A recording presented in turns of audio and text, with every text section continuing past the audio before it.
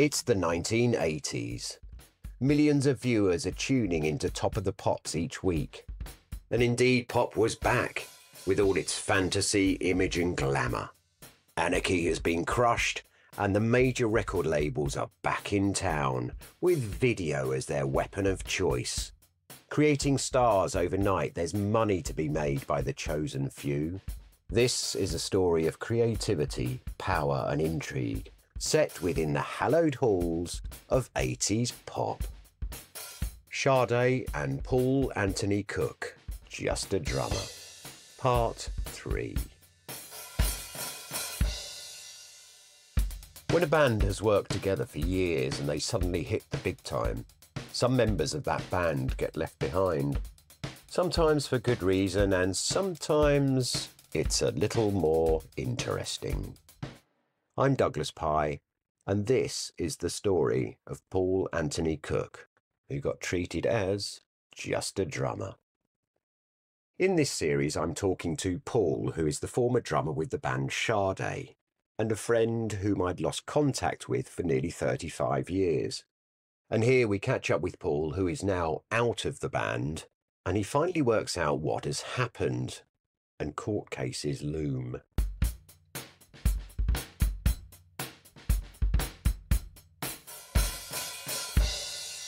Finally I was demoted to actually nothing after that last perform- TV performance. So at least it clarified where I was. I was neither a session drummer or the original drummer. I was actually gone at that point. so basically, that was you out of the band.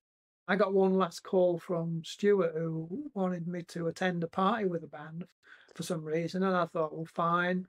Um, I thought it was just like a, a goodbye party for me. You know, let's let's have a party for one last, uh, you know, time with Paul. Um, so Stuart picked me up in in a cab. He could afford taxis then, which was great. I was very impressed, and but he just kind of um, briefed me in the cab, which was a bit weird. He he, he said, uh, "Well," he said, "Paul, I think um, it'd be better if you um, just tell everybody that you've you've left the band your own accord, and you know, obviously, it's going to look better for you if if you don't say you've been sacked. Is that all right? And I said, well, yeah, not a problem. I mean, if that's what you want me to put across. So we entered this club club night, and obviously everyone's coming up to me and going, "Oh, Paul, you you you're leaving the band." You know, leaving the band Sade, you know what what's going on, and you know I had to explain that. Oh yeah, I've, left the band, and um, Stuart was saying to me, uh, I think, uh, have you are you playing with Bananarama? Because funnily enough, uh, there was a Paul Cook, uh, a drummer called Paul Cook, playing on one of the Bananarama singles. so he was just hoping, I think, that you know I was, and that I'd migrated from you know Sade to Bananarama. You know, at the end of the day, I suppose they were all thinking it, it you know, it would show everybody, uh, you know, me leaving in a different light, um, you know, mingling with the the same set of people we used to, and yeah, and you know, I was I, I was effectively publicly managed out of the band as as just a drummer that had left the band. Simple as. So after this, you no longer played for Sade, and I believe Sade, along with Stuart, signed another deal with Epic, and of course, Paul Denman was still in the band with some sort of agreement. What were your feelings towards the band at this time, and as you saw the singles coming out and the, and the enormous album sales? Yeah, well, I mean, I think we were all surprised. I mean, you know, we knew things were good, but we didn't. You, you never think things are going to be so successful. So, yeah, I mean, you know, it was it was incredible the the success Sade got in 1984. But to me, I was just it was a bit of a, a, release for me. You know, I I concentrated on my band Esposito, and I was trying to get a deal. I was writing music. I was producing demos, uh, dealing with record companies. I had a manager at the time, um, and and you know, I thought, well, really, it's nothing to do with me. You know, it's it, I've moved on. And then come 1987, Lee Barrett gets the sack as Sade's manager. And you found out from his office that there were uh, triple platinum discs awarded to you by the BPI in 1985 for your work on Diamond Life. And could they deliver them to you? Was that a surprise? Yeah, it came out of the blue. I mean, I was it was very odd. I was living in uh, flat in St John's Wood. I got the call. Uh, I knew nothing about the discs again uh, until that moment. Um, it was really bizarre. And if you were a session drummer, would you receive this? No, not not at all. Um, I must have been registered as a member of the band to get the discs. As um, as when I played on Top of the Pops, I was registered as being signed to the record company CBS as well. I mean, I wrote to the BPI eventually, and they wrote back to me and confirmed that I would only get the discs uh, uh as a fully fledged member of the Sade band. Did this not raise any red flags for you about your position in the band? Um, no, it was just a, a part of what was a very weird episode with Sade and registrations. Um, they they couldn't quite make up the mind you know what I actually was in the end. so, um, but it was impressive to put on the wall. Um, and I, and I, being a poor musician, you know, trying to get a record deal, I thought they were platinum, so I thought I could sell them. Um, but when I did take them out of the case, they were vinyl sprayed with, you know, some metal paint. So I was very disappointed. I couldn't get any money from them.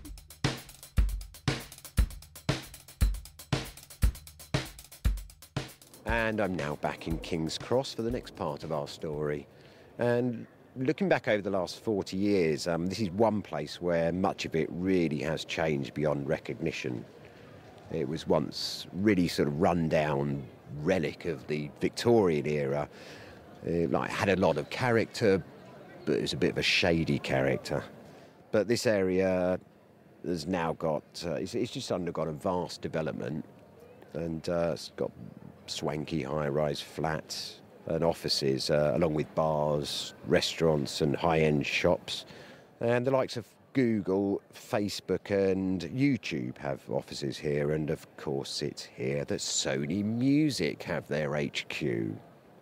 Now, talking of which, in 1993, Paul started court proceedings. So let's find out how this came about and why. Yeah, so I was I was advised by a friend to send a letter to the singer with with a claim to rights and uh, well to my rights on on the Sade stuff, and you know asked and I asked him for a payment for my work in '83. And were you oblivious to the fact that you maybe owed money from your contributions to the album? Yeah, I didn't know I had any rights, um, you know, for my contribution at that time at that point, had you spoken to or, or been in contact with any of the band members since the 1980s? Yeah, I was still friends with uh, Paul Denman, uh, and we were always in touch. You know, we were good friends. Uh, we we'd meet whenever we could uh, within his schedule. Um, I, I, remember going to Paris. Uh, he'd organised uh, me to go over. I think he'd gone back to the UK. They were in Paris recording the second album, Promise and uh, he said I could use his flat, and uh, I took my girlfriend over, uh, and he said he was going to leave me five hundred quid uh, in the flat. Um, but you know, we got there and we couldn't get in. He hadn't, he hadn't arranged the keys, so he'd screwed up in that respect. So uh, I ended up going up to Saint Denis, uh, the studio, recording studio in Saint Denis in the North Paris, to I think it was the North, to pick up um, some keys to try and get into this flat. Um, yeah, and I met all the, the guys. I met uh, Sade eh, was in the in the uh, control room. She was excited to see me. Did a little dance, and Stuart wasn't as excited to see me. He uh, knocked over my beer bottle. I remember he wasn't very happy. Uh, but Andrew Hale was fine. I mean, he, he, was throwing money at me left, right, and centre.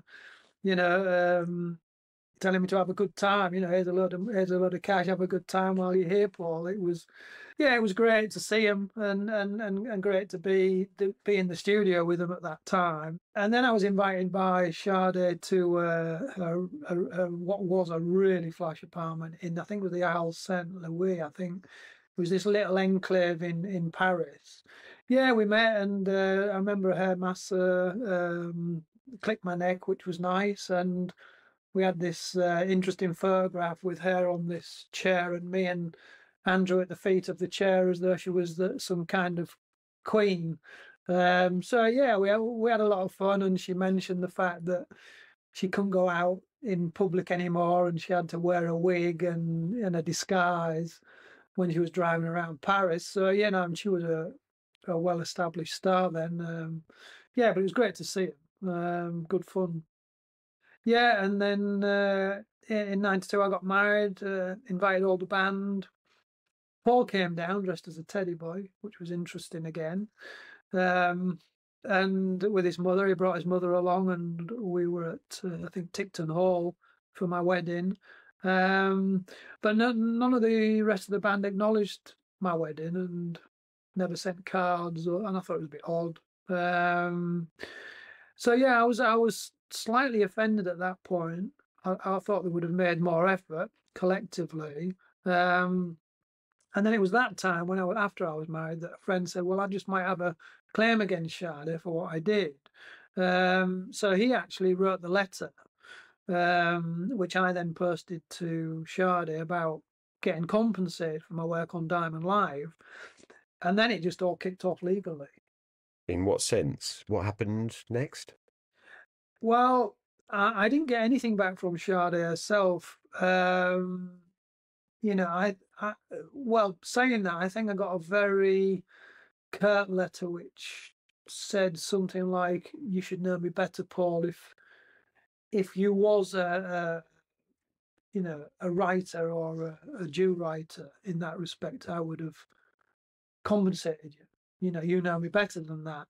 I think I got a very brief note on it, but the main rebuke came from Brian Carr, Compton Carr solicitors. Uh, it was a very kind of snotty letter from from him, and and he said I didn't have any claim um, whatsoever, and it was very derogatory his terms in the letter, which annoyed me, which actually really pissed me off actually at the time.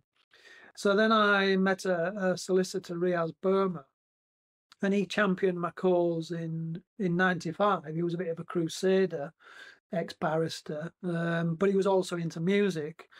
Um, but I felt I'd been um, pushed into court proceedings by by them all. Really, it, wasn't a route I wanted to go down. And uh, after that, I I got an angry message from Paul Denman on my answer phone saying that we could no longer be friends um, if I was going to go down this legal route with Sade. So court proceedings started in 1995 and ran through to 1997. Tell me what happened and, and what was the outcome. Yeah, I mean, I, well, I was supported by, as, as I said, Riaz Burma and his firm. They championed my cause, and uh, if it wasn't for him, nothing would have proceeded. So, um, you know, and he obtained legal aid for that uh, case which carried on right until the end. Uh, so I've got to thank him greatly for that opportunity because not many people get that opportunity to take, you know, such a major artist and record company to court. Um, but at the end of the day, you know, in in the defence uh, from Sade and Sony, but especially Sade, they were just saying um, that I was more or less sacked for incompetence and I had no claim. Um, you know, and Sade herself intimated that in a witness statement, suggesting that my, you know, drumming at the Vienna U4 show wasn't any good and that I was an embarrassment to her and the band at the time. And has anyone verified that this was not the case, that all your drumming was up to par? Yeah, I mean, at the time we hired uh, two music industry experts. Uh, one of them was Elton John's drummer, Charlie Morgan, um, and and he in his report he suggested that I was clearly an integral part of the band uh, and a band drummer, uh, as opposed to a session drummer. From what he'd heard me play on all the the tracks and tapes we had. But you know, I had no time to contest it. I couldn't go into court with the um, U4 video recording, which I which I which I had to prove that I was, uh, you know, cock on in in in in the sh- in that shirt. Um, and my legal aid certificate got pulled, um, and I couldn't afford to actually go to court to to bring my case. Um, I had a QC who was, who was being paid a thousand an hour, and it certainly wasn't possible for me to pay for that. Uh, uh, you know, so I missed the opportunity of being able to show that you know on video I was spot on at that time at that gig in Vienna, and and therefore prove that you know I was a good drummer. Um, and after this, uh, after my legal aid was pulled, I, I got offered uh, 20k to stop talking about the claim. This was put into court at the time. Uh, I didn't accept it um, uh, because it, it, was on the terms that I couldn't write anything about the band in the future, which I didn't agree with. And at that point, my bill to the taxpayer was fifteen thousand pound. But if there wasn't a claim, why get offered twenty thousand pounds? I think it had been a cheap way to shut me up. I think they were hoping that you know I would accept that in, in full and final settlement, and they would get a disclaimer, so I could never go back to them in the future and and sue them. You know, I think that was the plan. Uh, I just think it was very badly badly arranged. Um, but I never accepted it, and and when my legal aid certificate was withdrawn, the money just went back to the band. Um, you know, there was caveats attached to the offer, which um, you know I rescinded on the basis that I wanted to write about the band, and I wanted to talk openly about my experiences with the band in the future. Yeah, so I mean, it was a difficult offer um, not to accept. Twenty thousand pound at the time was a, a lot of money to me. I mean, I was unemployed with my family. Um, you know, an unemployed musician at the time still. Um, so yeah, it was a very difficult offer to turn down. And while we're here, let's do a quick summary of another case that was going on. Paul was also trying to collect his US performance royalties, which he contested through Phonographic Performance Limited, or PPL. It's a, a British music copyright collective. This investigation took place between 2000 and 2003 and triggered court actions between 2007 and 2009. However, the claim against PPL was dropped by Paul as he says he found it impossible to fight them or indeed direct them to collect his US royalties when he says there was a clear policy to only distribute that income to those signed to a major label. And this case against Sade was also struck out by a Hull judge in 2009 as Paul did not have a solicitor and couldn't argue his case in court. Hope you followed that.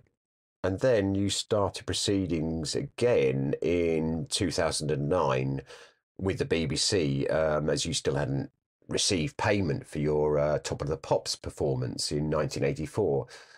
Tell me how this came about and, and, and what happened. Yeah, so I sued the BBC over non Top of the Pops performance monies and uh, owed to me from 84. I mean, I looked into the to the contract with the BBC, and I should have got some some residual payments. Um, subsequently, I won this case. And to add in here, this was more of an admin error and not the BBC's fault, as they presumed that these payments had been made by the record company, and they agreed to an out of court settlement.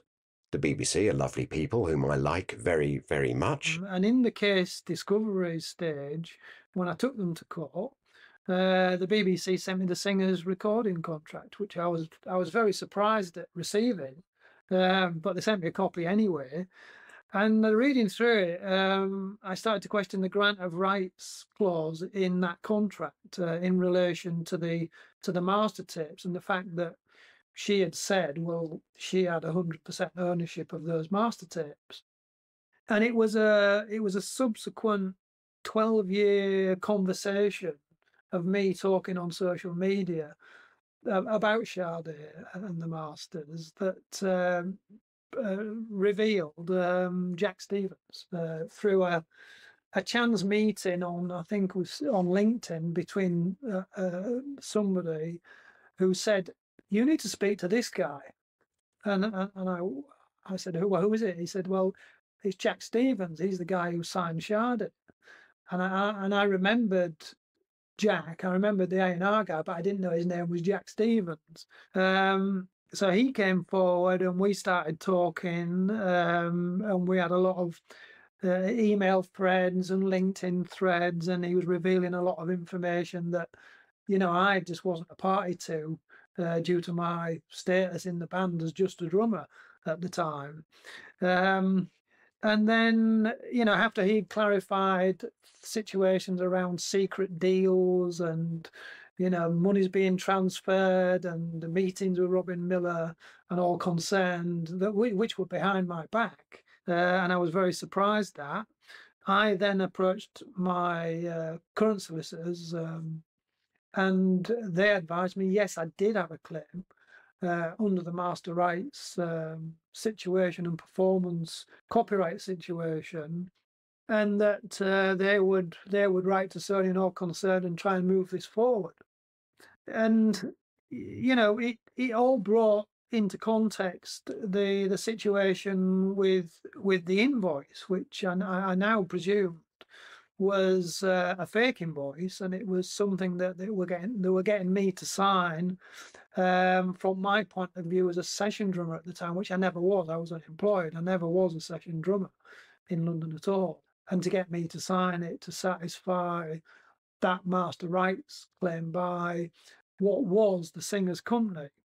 Um, so basically, I mean, in a nutshell, if I hadn't sued the BBC in 2009, I would be none the wiser.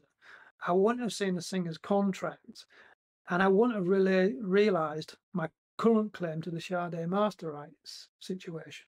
So, where are you up to in the proceedings? Yeah, well, currently I need to raise uh, 25k um, for my solicitor to proceed to court. Um, otherwise, there will be no court date. I mean, I've spent a year, uh, you know, on on on being supported by friends and family, on uh, you know dealing with Sade and Sony on a without prejudice basis. Um, but you know, to get this into court, I'm going to need at least a minimum of 25k. So, I mean, luckily nowadays we've got crowdfunding, so everything's changed. You know, we don't get legal aid anymore. If we need to be supported, we have to go online and get thousands of people to contribute 35 pound to the to the cause. So that's what I'm doing at the moment. I've got a, a page on Crowd Justice. Um, we've raised around about 1200 so far. And we've got a stretch target of 25, but that that page is going to be there for a long time until we, you know, we receive that those pledges from people, and then we can take, you know, Sade to court. So I think I've set a little bit of a precedent here when when you think about it, in that I'm most probably the first person in the world to try and take a, a major superstar to court via crowdfunding. So that would be an interesting one if we do get into court, because it won't be public money anymore. It'll be, um, you know, um, people on the internet supporting my legal case. So after all this, do you still play the drums? It, good question, actually. Um, I have tried. and I find the whole process rather industrial now. Um, a, a, singer in Chicago did uh, hire me, um, actually as a session drummer. After all these years, well, she paid me to work on her single, and um, we we kind of worked remote. Obviously, she was in Chicago, but I remember getting to the studio, and um, it was like being a tradesman, getting my kit out, setting it up, I said to the guy in the studio, I was at Fairview, I use Fairview Music, which is a local studio, and he, I said, "This is my God, it's so industrial."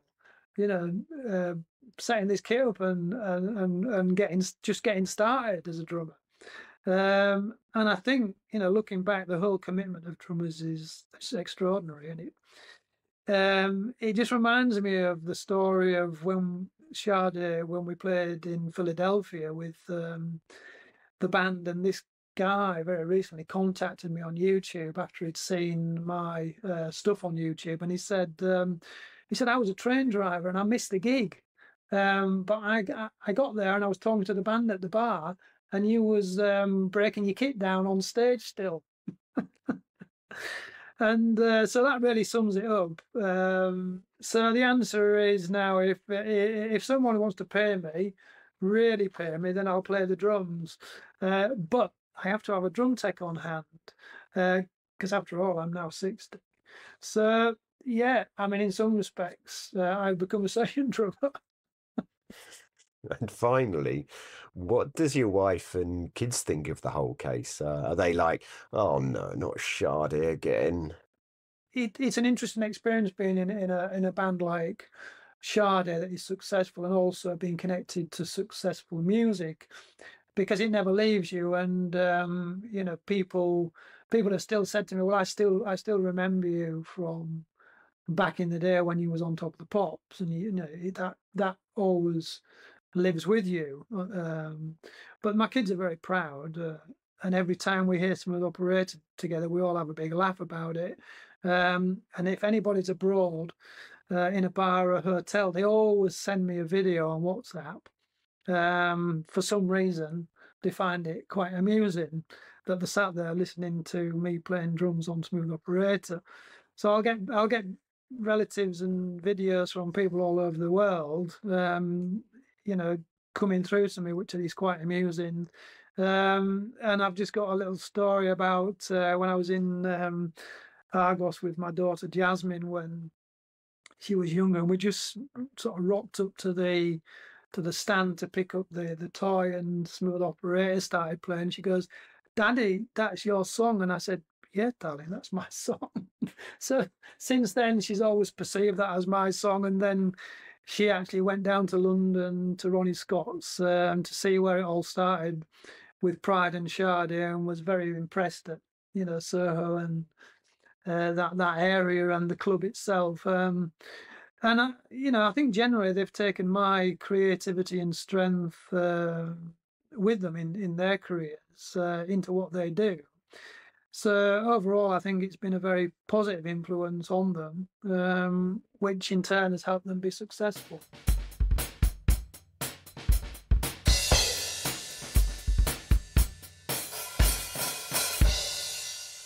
And so, in conclusion, the story goes on for Paul as he continues to push his court action to show he was more than just a drummer.